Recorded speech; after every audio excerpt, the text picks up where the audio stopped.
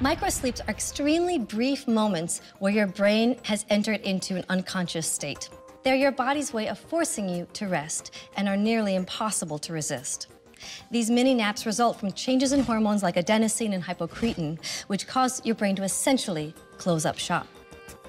To give you a sense of what microsleep feels like, focus on this image. In a moment, we're going to flash a quick frame of black, and then the picture will change slightly. See if you can spot the change. Ready?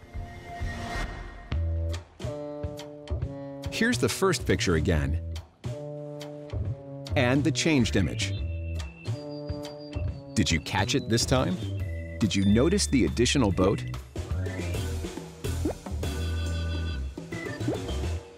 This game mimics the tiny gaps in awareness you experience from a 50 millisecond microsleep.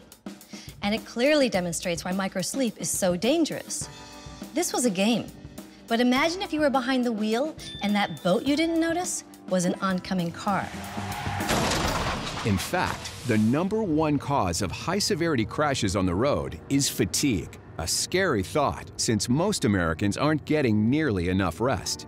Research shows you should be getting at least seven to eight hours of sleep a night, but 40% of Americans get less than this, and it could be having a detrimental effect on your life. To find out if you're getting the right amount of sleep, you could visit your local sleep lab and get tested. Or you could take this quick quiz. Is there a good chance you'll doze off if you sit down and read a book? How likely would it be for you to snooze if you were traveling in the passenger seat of a car for more than an hour? If you were to lie down and close your eyes in the middle of the afternoon, would you easily fall asleep?